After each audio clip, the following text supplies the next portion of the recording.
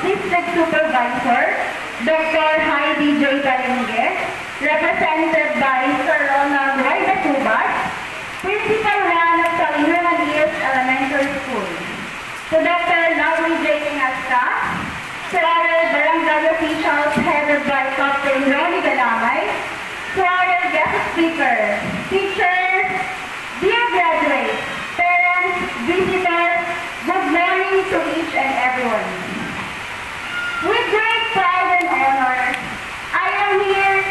to introduce to you the man of the hour, who chose to be the guest speaker for today's occasion. Bagong Sutal Elementary School name has all the reasons to be joyful and celebrate.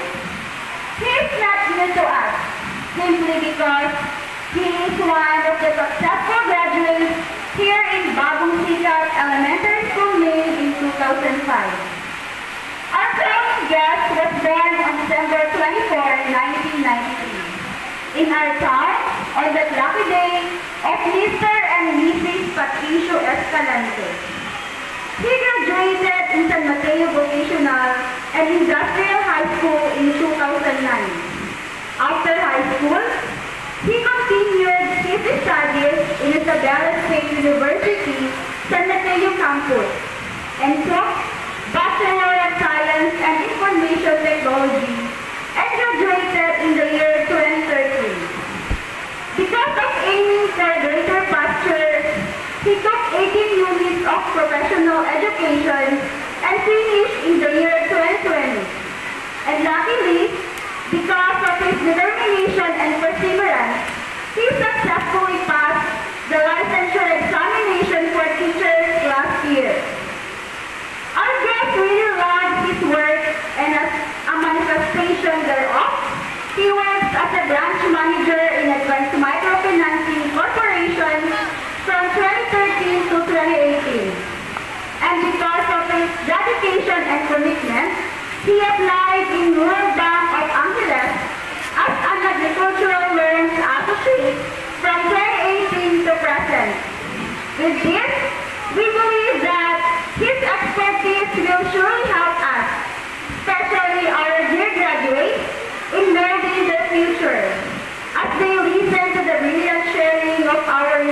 speakers, for them to be used as an inspiration in dealing with the challenges of life. Without any further ado,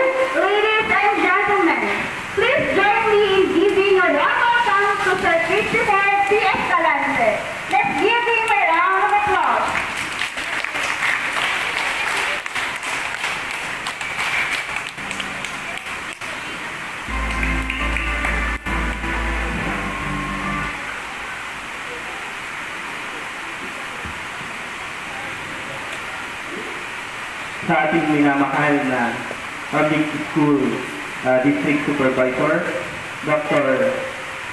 Heidi Balinge, represented by Sir Ronald Batubat, Principal 1 ng Saliniman East Elementary School, sir.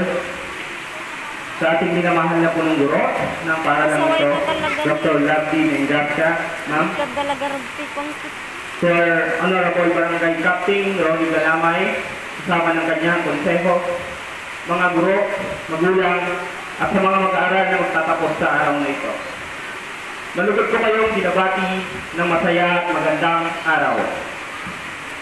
Mahal ko mga mag-aaral, ako ay lubos na nagagalak na ako'y nandito sa inyo ngayong araw. Sa inyong pagtatapos sa elementarya, ito ay isang malaking tagumpay na dapat ninyong ipagmalaki. Sa loob ng anim na taon, maraming mga pagsubok ang inyong dinaanan. Mga pagsubok ng hindi lamang sa akademikong larangan, kundi pati na rin sa personal na buhay. Andyan yung pandemya na lubos na pahirap sa ating lahat. Hindi lang sa kalusugan, pati edukasyon ay naapektuhan na rin naranasan niyong mag-aral sa pamamagitan ng module at yung mga iba ay sa internet. Ngunit sa kabila ng mga ito, narito kayo ngayon at nagpakita ng determinasyon at pagpupunyagi. Hindi madali ang inyong pinagdaanan, ngunit dahil sa inyong mga pagsisikap, kayo ay nagtagumpay. Kaidat ko kayo noong una kong pumasok sa paralang ito. Dito ko unang nakilala ang aking mga kaibigan, kamag-aral at mga guro. Dito din kami unang natutong magbasa, sumulat at magbilang. Maraming ala-ala ang nabuo na kay gandang balikan. Dito din nagumpisa ang aming mga pangarap dahil sa tanong ng aming mga guro na kung ano ang gusto mong maging paglaki, pag sa paglaki mo. Meron may gustong maging pulis para maprotektahan ang kanyang bayan.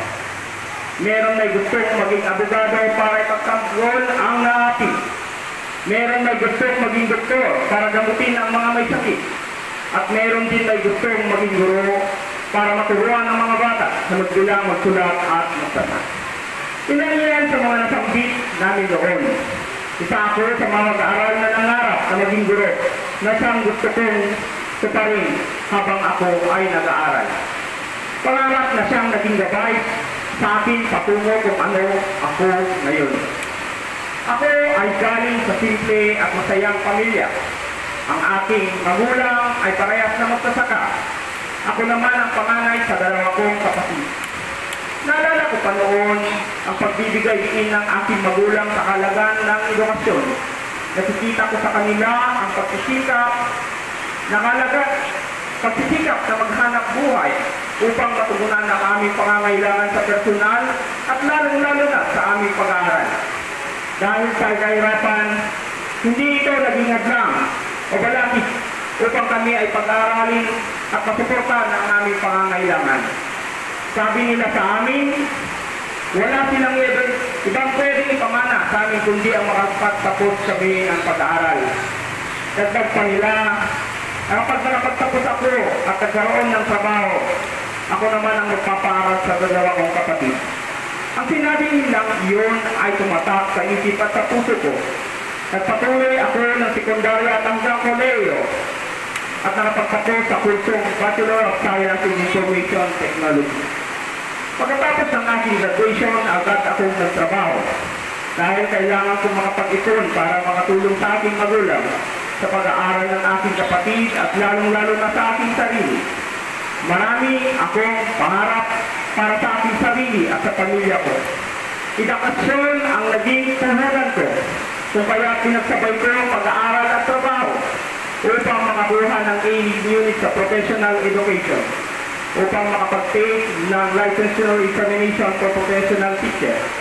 Natapos ko yun at naghanda sa nasabing pagsusulit.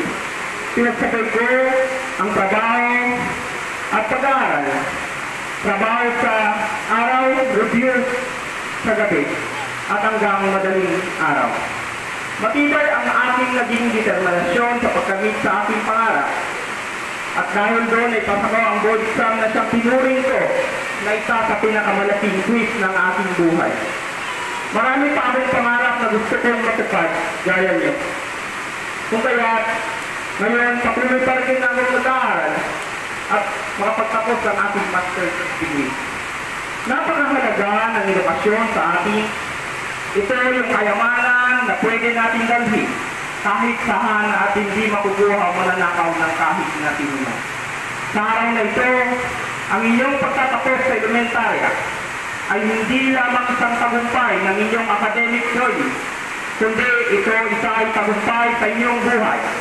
Sa anim na taon, natutunan ninyo ang mahalagang aral na hindi ninyo makakalimutan sa inyong buhay. Ang inyong pag-aaral sa elementarya ay hindi lamang tungkol sa pag-aaral ng mga akademikong kaalaman, ay ito ay tungkol din sa pagpapakita ng magagandang asal tulad ng paggalang, pagiging, papagbigay at pagmamahal sa kapwa. Natuto kayong maging responsable sa mga mag-aaral at mamamayan ng ating bansa. Natuto mag-isip ng solusyon sa mga suliranin at magpakita ng pagpapalala sa edukasyon.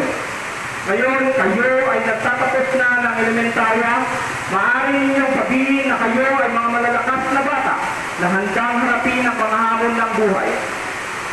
Alam ko na hindi ito ang inyong ah, pagtatapos ng inyong pag-aaral, ngunit ito ay isang malaking hakbang sa inyo sa panguglan ng inyong academic journey.